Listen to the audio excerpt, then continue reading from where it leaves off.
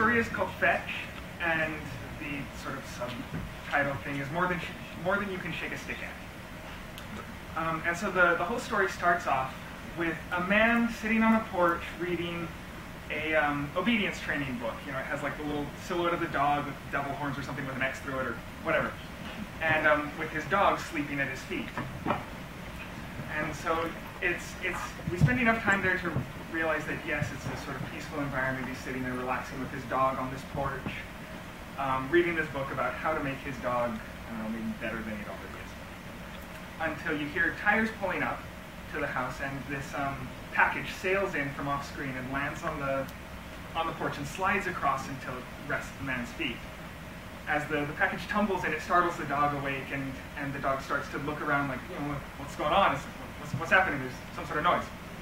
And the man realizes the package is there, and he looks down, and as he starts to read the label on the package and see what it is, he starts to get really excited, like, oh man, this is like, been waiting for this forever. This is so cool. So he rips open the box and he starts tearing through it and he pulls out an instruction booklet and sits cross-legged over the box on his porch.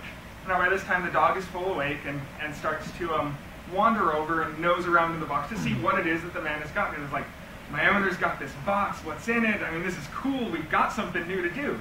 And the man, before the dog can see what's in the box, the man pulls out a, just a plain stick. It looks like, you know, you could have pulled it off of any tree coming in. And uh, the man is super excited that, yes, this stick is finally here.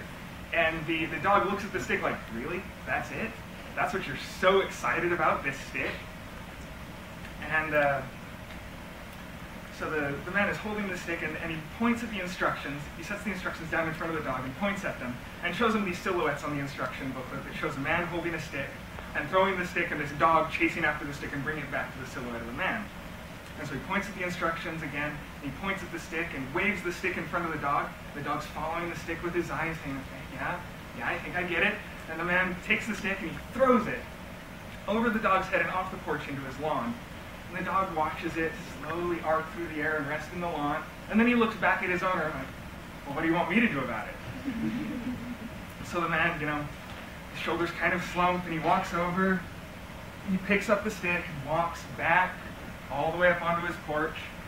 And again, he looks the dog square in the eye.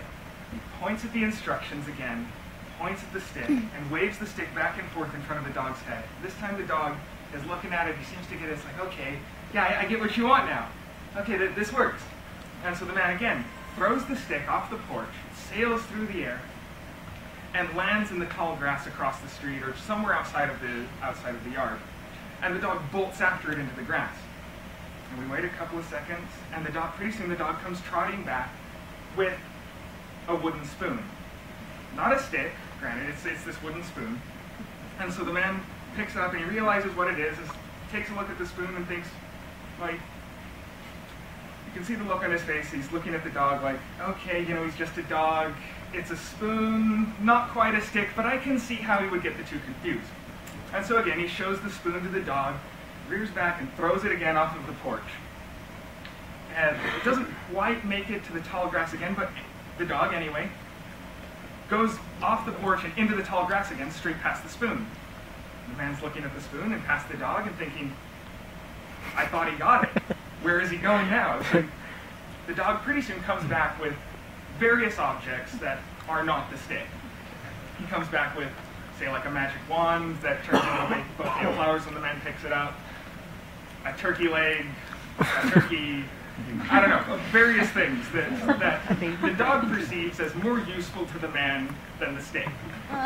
All, all the while, the dog is just so happy to be doing this, so happy to be doing all of this stuff with his, with his master, thinking, great, I'm being so helpful, I'm bringing all of this stuff to him, he's going to be so proud of me, so happy with me.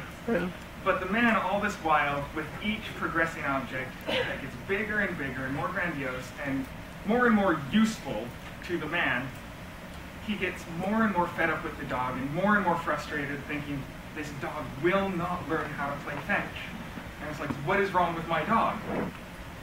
So the dog finally, the last straw, the dog comes bounding back through the grass with this enormous rope in his mouth that's almost as big as the dog's head. And behind it, this cruise ship comes crashing through the grass.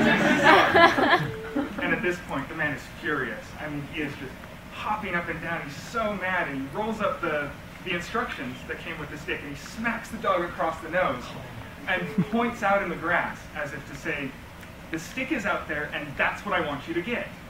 And so the dog, at this point, realizing his mistake, tucks his tail between his legs and slowly slinks off the porch and off into the tall grass. And the man, exasperated, sits back down on his porch and just kind of stares off into space after the dog. Pretty soon the dog comes back with the original stick and he sets it slowly at the man's feet. And the man is overjoyed at this point. He's like, the, the dog has finally learned how to fetch. And he praises the dog and pats him on the head and brandishes the stick about. And he shows the dog the stick again and he throws it. And again, the stick doesn't quite make it off the yard. But the dog, anyway, bolts off into the grass. And the man again is looking confused, saying, Not again. Why is he going off into the grass again? I thought we covered this. We went over this. And um, so the dog, pretty soon, the dog comes back again, happy as can be, carrying an enormous uh, drawstring sack in his mouth. And he sets it at the feet of his owner again, and the man picks up the sack and undoes the drawstring and outspill all of these gold coins. And he looks, the man looks at the, looks at the bag, and he looks at the dog, and he looks at the bag again, pulls the drawstring closed, smiles, and pats the dog on the head, and they both walk inside. and that's it. That's the end. Yeah.